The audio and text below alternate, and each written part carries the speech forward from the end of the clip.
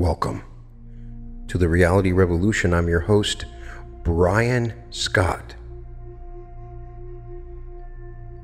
Today, we're going to talk about a fascinating subject infinite loops using the not mind to create recursive manifestation.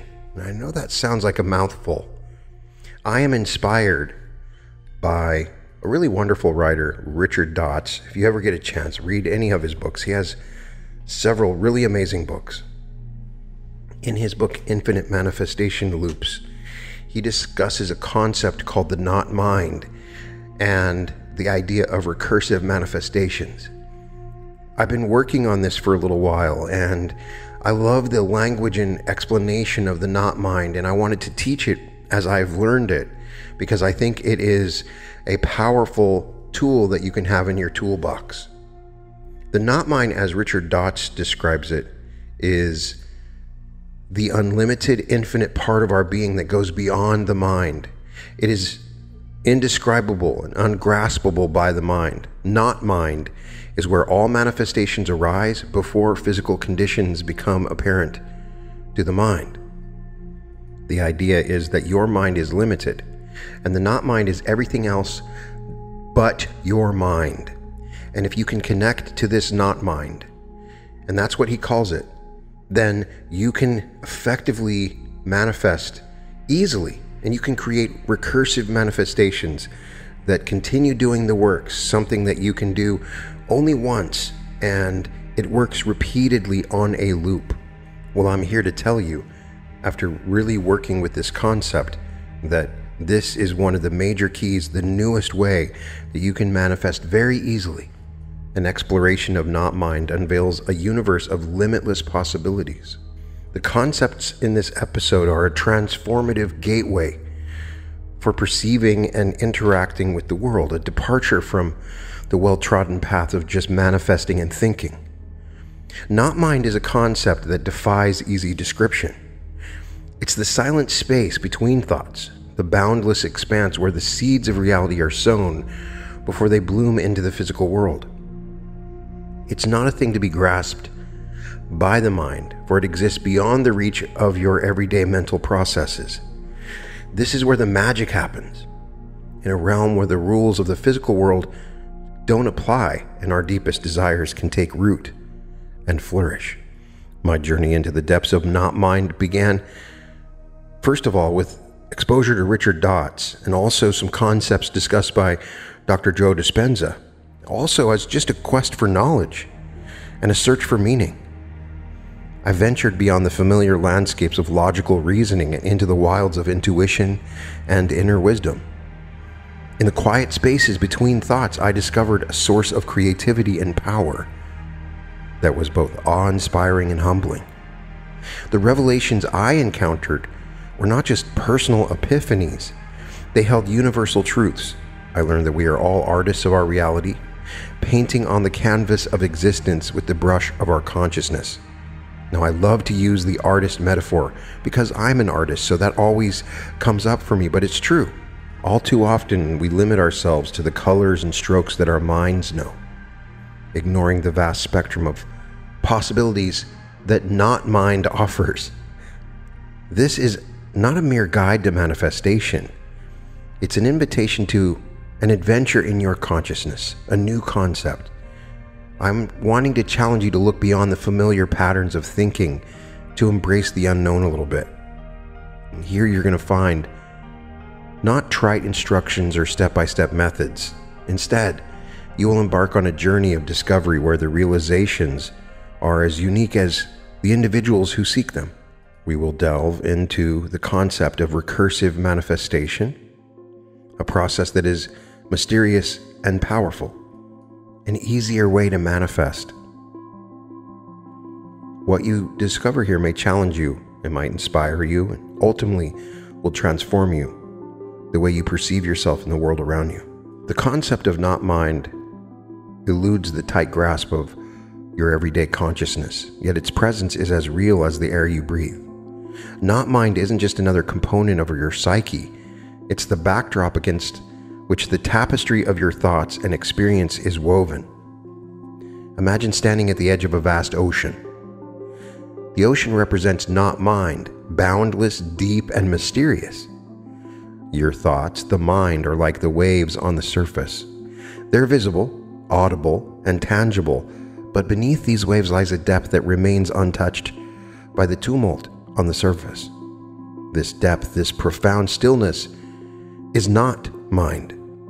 It's the source of all creation, yet it remains creationless in itself. It's the silence from which every sound emerges and to which it returns. In exploring not mind, we realize that the relationship between mind and not mind is not one of opposition but complementarity. The mind, with its thoughts, ideas, and perceptions, is like an individual painter who believes he is only as good as the paintings he creates. Yet, not mind is the canvas, the paint, the studio, and the very essence of creativity that allows the painter to exist. It's the foundation upon which the mind builds its constructs. Throughout history, philosophers and mystics have grappled with concepts akin to not mind. In the ancient philosophies of the East, it's been referred to as the Tao, the underlying natural order of the universe, which is beyond comprehension. Western philosophers have touched upon this notion, though often cloaked it differently. Plato's realms of forms hints at reality beyond the physical, realm of perfect ideals, of which our world is merely a shadow. In more contemporary terms, quantum physics starts to brush against the edges of not mind.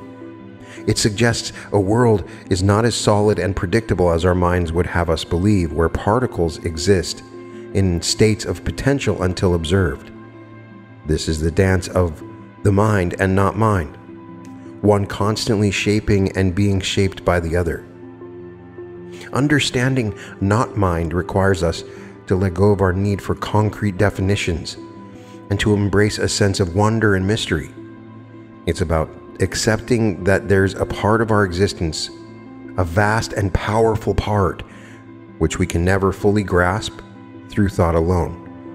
It's about learning to feel, sense, and experience life in a way that transcends words and concepts. In our quest to understand not mind, it becomes essential to reflect upon the familiar terrain of our minds. The mind, a magnificent tool, shapes our perceptions of reality and our creative endeavors, yet, in its complexity, the mind also harbors many limitations, subtly steering us away from the vastness of not mind. Let's consider the mind as a masterful artist, one who paints the world as we know it. Through the brushstrokes of perception, it colors our experiences, beliefs, and understandings of the universe. That's all we know is our mind and the mind crafts stories from our past, molds our present, and sketches the outlines of our future. It's a powerful creator, but it works within the confines of its own canvas, often unaware of the infinite gallery that surrounds it. This artistic analogy brings us to the crux of the mind's limitation its adherence to the known, the logical, the rational. In the realm of rational thinking, every idea must have a structure, every thought a foundation in logic. This is the mind's strength, but also its Achilles heel.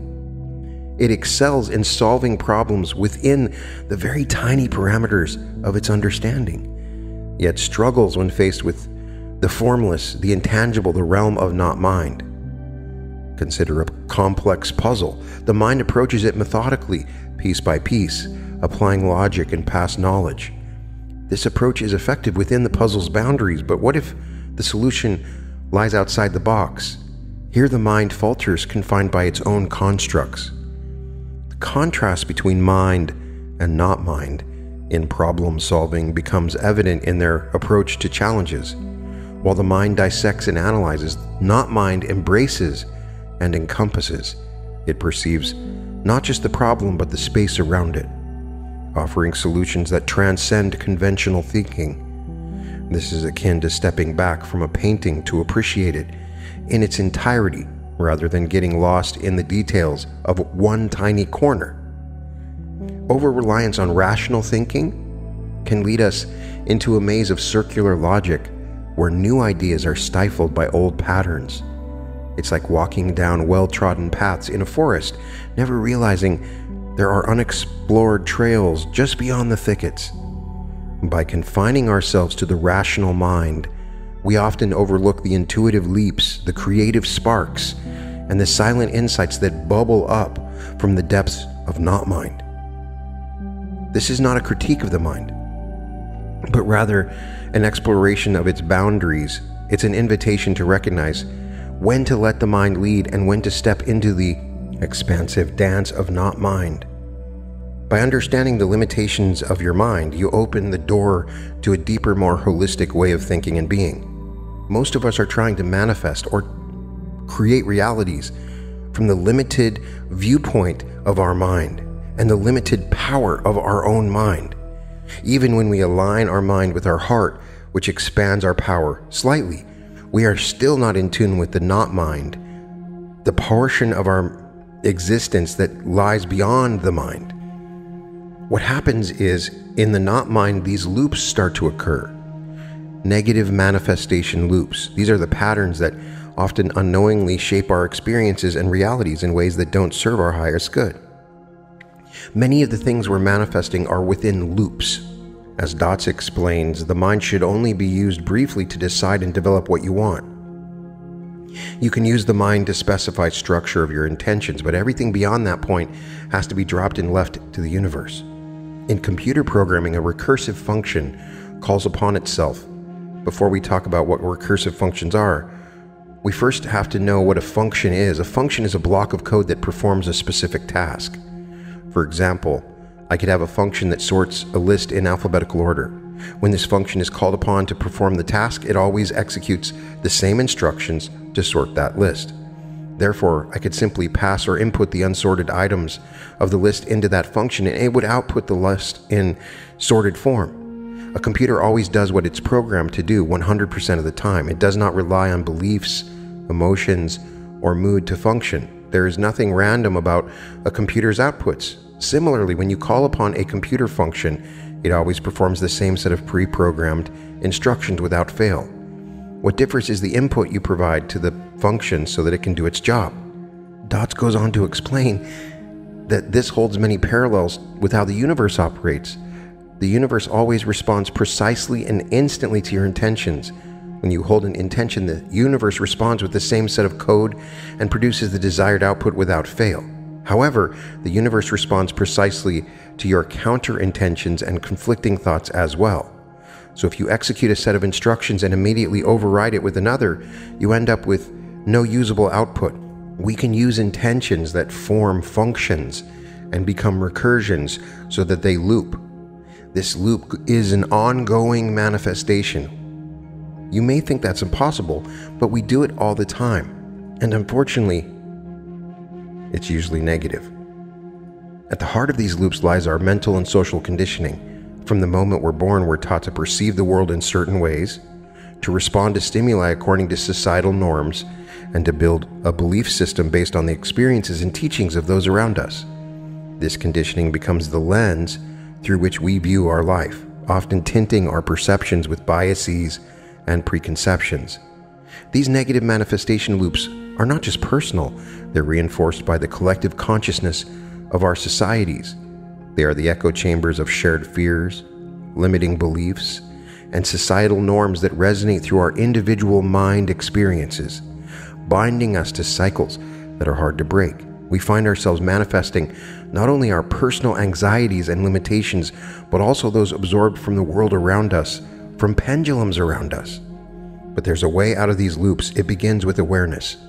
The first step in breaking any cycle, awareness allows us to see these paths for what they are well worn tracks that we have the power to step away from. It's the moment of realization that there are other routes, other possibilities beyond the dense foliage of our conditioned responses in our limited, tiny minds.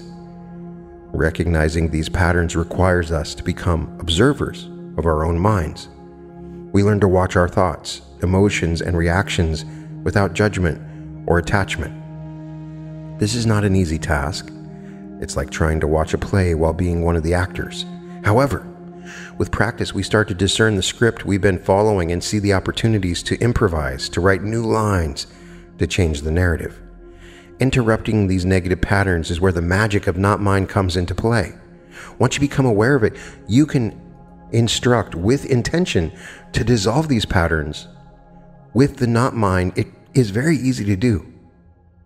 Unlike the mind, which operates within loops of conditioning, not mind exists outside of them. It offers a perspective that is untainted by past experiences and societal expectations. When we tap into not mind, we tap into a source of creativity, intuition, and insight that can rewrite our stories. Breaking the cycle is not about discarding the mind, it's about harmonizing it with the wisdom of the not mind, allowing the not mind to connect to the subconscious not mind within us, and then to the overall conscious mind as an expression. It's about realizing we're not bound to the paths we're walking so far. We can forge new ones, guided by the light of our higher consciousness. So we must learn the process of dissolving existing mental and energetic patterns. These patterns are like invisible threads woven into the fabric of our being, shaping our perceptions, reactions, and ultimately our realities. Imagine standing before a grand tapestry. Its intricate patterns woven over time represent the layers of conditioning and beliefs that have been imprinted upon us. Some of these patterns are beautiful, contributing to the richness of our character. Others, however, are knots and tangles that disrupt the tapestry's harmony. Dissolving these patterns is akin to gently unraveling these knots, restoring the fabric to its original unblemished state. Now, I know I love to use the tapestry metaphor, but it is literally what is happening. It is a tapestry. The journey of dissolving these patterns begins with mindfulness, something I mention in every episode, the gentle art of just being fully present and aware. It's not about forcefully changing your thoughts or emotions, rather, it's about observing them with compassion and understanding, and then connecting to the not mind, which is much easier in a state of mindfulness, and allowing with intention for these patterns to dissolve. One effective method of dissolving these patterns is to step back from our thoughts, to observe them without becoming entangled with them in meditation. It's like sitting by a river and watching the flow of water. The water represents our thoughts, sometimes calm, sometimes turbulent, but always in motion. As we watch, we learn not to get swept away by the current. Another practice is self inquiry, which involves deeply questioning the beliefs and assumptions that underpin our thoughts and behaviors within our small, normal mind. When we ask ourselves questions, we are connecting to the not mind. Why do I believe this? Is this belief serving me? What would I be without this thought? This process shines a light on the shadows of our conditioning, bringing to light the patterns that we silently direct our life script with. In the world of therapy and healing, we find countless examples of how addressing and dissolving subconscious patterns can lead to profound changes in a person's life. Techniques such as cognitive behavioral therapy, hypnotherapy, and even newer modalities like energy psychology all work towards the same goal freeing the individual from invisible chains of past conditioning. Now, the key to connect to the not mind is the zero state. Imagine the zero state as a vast, serene lake, its surface perfectly still. Undisturbed by wind or rain, this lake is the epitome of tranquility and potential. It reflects everything around it with clarity and precision yet it is not defined by these reflections. This natural, unconditioned state is the essence of the zero state, a state of pure being uncolored by thoughts, emotions, or external circumstances of the limited mind. The journey to this zero state is not a quest for a new destination, but a return to our original essence. It's a process of unlearning, of peeling away the layers of conditioning and belief that have accumulated over time it's about rediscovering the stillness and purity at our core, which remains untouched by the turbulence of daily life. One effective technique for returning to the zero state is through deep relaxation and stillness. These practices guide us away from the constant chatter of the mind into a space of silence and stillness. Check out my episode, Be Still and Know, where I talk about the incredible power of silence and stillness. It's in this space that we can experience the zero state. even if only for a brief moment at first. The practice of deep relaxation is not about forcing the mind to be quiet, but rather letting go of resistance, allowing the mind to naturally settle into stillness. You can always connect to the not mind without going into stillness. It's always available according to Dotts. And the thing is, when you have intentions stated within the zero state, they are the most powerful. Intentions set here are untainted by the ego or desire. They are the true expression of your innermost self, your highest purpose. To set such intentions, you must delve deep within, beyond the layers of conditioned wants and socially imposed needs, of the voice of the pendulum that's in your head. It's about asking yourself, what is it that my soul truly longs to manifest? Once we have clarity on our intentions, the next step is to learn how to direct our energies towards these intentions. This is not a forceful act, but a gentle alignment, like tuning a musical instrument to the right frequency. It's about aligning your thoughts, emotions, and actions with your intentions, creating a coherent flow of energy that moves towards your desired outcome. However, this alignment is not merely a matter of willpower or mental effort. This brings us to the delicate balance of effort and surrender in the manifestation process. What effort involves the active alignment of our energies? Surrender is about trusting the process, letting go of attachments to outcomes, and allowing the universe to work its magic. Surrender does not imply passivity, rather, it's an active trust in the flow of life. It's recognizing that there are forces at play larger than our individual selves, and that our true power lies in being in harmony with these forces. When we balance effort and surrender, we become co creators with the universe, participating actively in the dance of creation while being open to the guidance and opportunities that come our way. Understanding the not mind, we come to the idea of recursive manifestation loops. Imagine a spiral staircase that loops upward infinitely, where each step not only takes you higher but also enhances the staircase itself, making each subsequent step more empowered. Recursive manifestation loops work in a similar way. They are the process where the act of manifesting enhances the power of your manifestation, creating a self reinforcing cycle of positive outcomes that requires no work. The foundation of recursive manifestation loops is the understanding that your intentions and thoughts are not static. They evolve and grow with each cycle of manifestation. Each successful manifestation feeds back into our belief and energy system, strengthening our ability to manifest even more effectively in the next cycle. To create and utilize these loops, we start with a clear intention. But we also, in our intention, instruct that intention to be ongoing. For instance, we have unknowingly placed a very powerful recursive manifestation loop in our affirmation when we say large sums of money come to us easily and quickly in increasing quantities from multiple sources on a continuous basis. When we say that and use it as an intention from the zero state, then we can say it once and in effect, these large sums of money will come to us on a continuous basis until we stop it from happening while in the zero state at some other time. The next step is to feed this reinforced belief back into our next intention with each cycle. Our confidence in our ability to manifest grows, as does the clarity and power of our intentions. It's a process of continuous refinement and empowerment. So, first, before approaching any situation in life, strongly connect to not mind and feel the immediate difference in your inner state. As Dotts tells us, there is no need to analyze or describe the specific changes you feel on the inside. It is sufficient to know that there is universal strength supporting you in every step along the way. You're always lovingly supported by the universe, even when things don't seem like it. Second, let's set a recursive intention to connect not mind to not mind until all aspects of a situation have been resolved to zero. This connection ensures that all aspects of a situation, conscious or unconscious, are taken care of. Therefore, there is no need to state or go through every detail of a situation manually. Instead, you apply not mind to not mind. You connect with every aspect of a situation that needs resolution, whether you have stated it verbally or otherwise.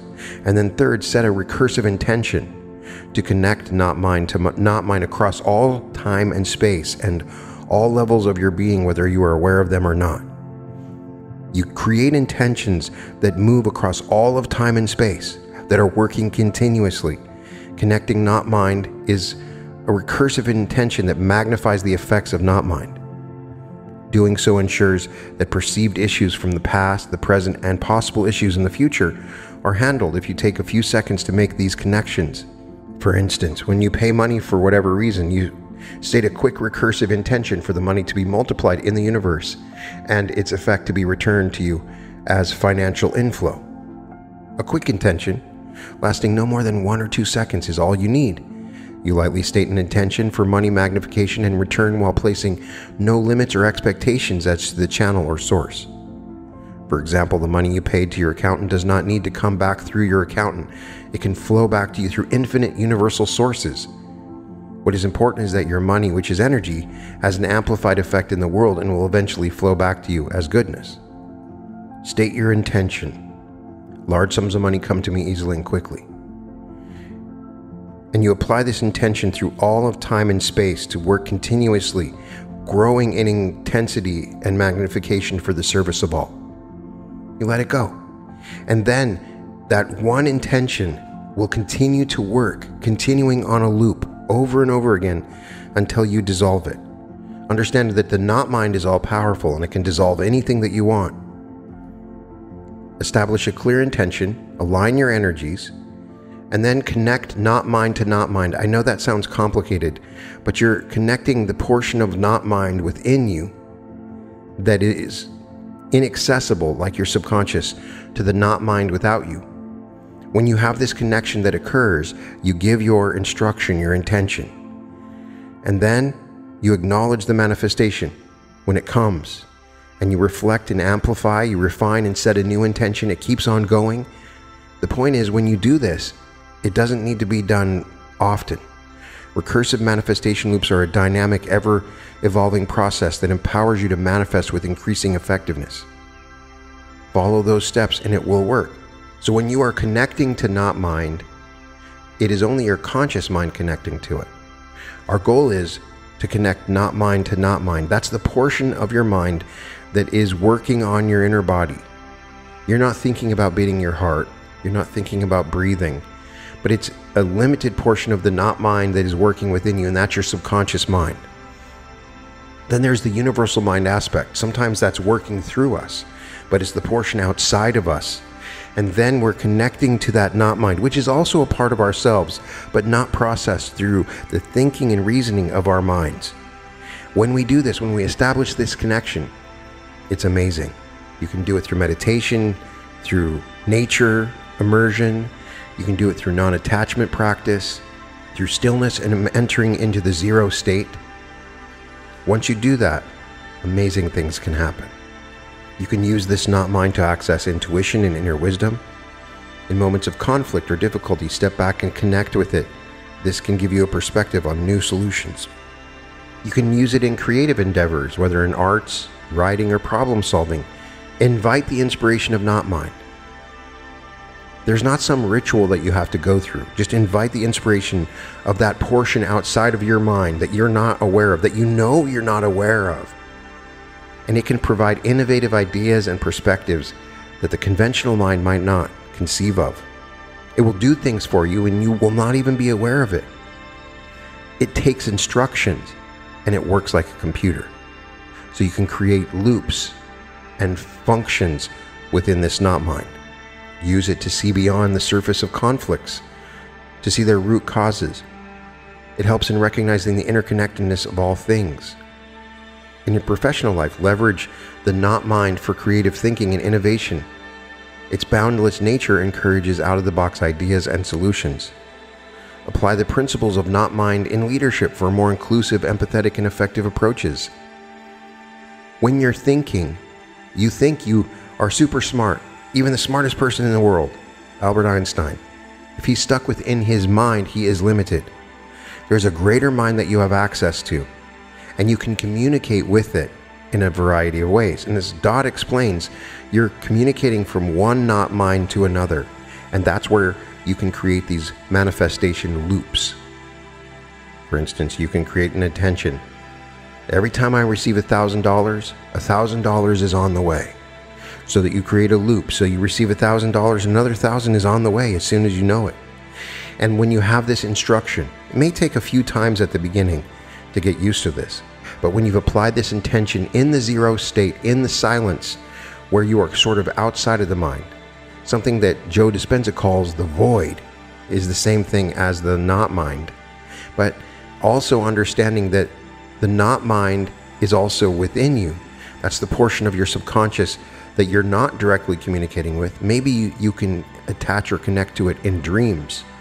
But in the zero state, you can give intentions and they're all powerful. Once you understand this power, you can create loops that continue on and on and on. And that's the point for you. I want you to create loops so that your manifestations don't happen in a single moment, but they're ongoing and they work forever. And there's nothing that you need to do.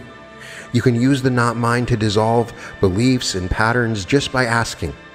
When you get into that zero state and you quiet your mind, you can say, I dissolve all blocks, barriers, and limitations to my success and prosperity. When you do this in that perfect state, amazing things happen. It works every time. And so the point is the place where the manifestation occurs is in a void or zero state. And there is a void and zero state within you and without you. And if you can learn how to connect to these things, because in reality, there is no without, all that you see is you. But what we're trying to do is learn the art of manifesting from self and understanding the true self the true self is all that you see space, the planets, the stars, all of it. And the limited self right now in this physical body is only aware of the organic functions of the brain and the way it thinks. Understanding that it's working through a not mind that helps you do the things you want. And it's incredibly effective. Now, not mind is just a word that can be used, but the reason it's important to understand is it is everything that is not your mind. So if it's coming up within the conscious mind of your thoughts, that is not the not mind. For you to gain the power of the not mind, you have to go and let the mind quiet. Understanding the mind is limited. It's a very small perspective in trying to manifest from this mind. So, all we're trying to do in true manifestation is access the big computer, give it a function, set the instruction, and then let it go. And the better we get at going into the void state, the zero state, we can connect to this not mind, and amazing things will happen for you if you use the steps that I've outlined. As Dotts explains, you can never be stuck in life. Nothing will ever get you down or keep you down, regardless of the outer circumstances. You move beyond knowing that everything is perfect to having the tools to completely resolve any life situation. Anything can be dissolved in seconds and recursively improved without your conscious mental input. Life then becomes a conscious manifestation journey and a moment by moment choice of where you want to direct your creative energies. With this new knowledge, you can set intentions to create things and completely forget about them. You don't have to continually do the affirmation with vain repetition. They will still be waiting for you at the appropriate time and space. You can completely let go and forget about what you have intended. This frees you up to create even more stuff. You're free to change your mind at any time. There is no longer the pressure to get it done right the first time, and this applies to your career and life's work. Every observation becomes a golden opportunity to clarify and fine tune your preferences. You are all powerful. There are no mistakes because you can always reverse things not in line with your current preferences. When you believe in the thoughts your mind offer you, you suffer. It's really that simple. When you completely drop the mind, you go back to that state of inner peace. When you drop the mind and tap into the not mind, you become the embodiment of the universe. The universe is no longer this huge container that encapsulates you. Instead, it becomes the inside of you, and you become the whole of the universe at once. This is where all manifestations happen and are experienced, but yet you remain eternally silent and still. You can find all episodes of The Reality Revolution at therealityrevolution.com. And welcome to The Reality Revolution.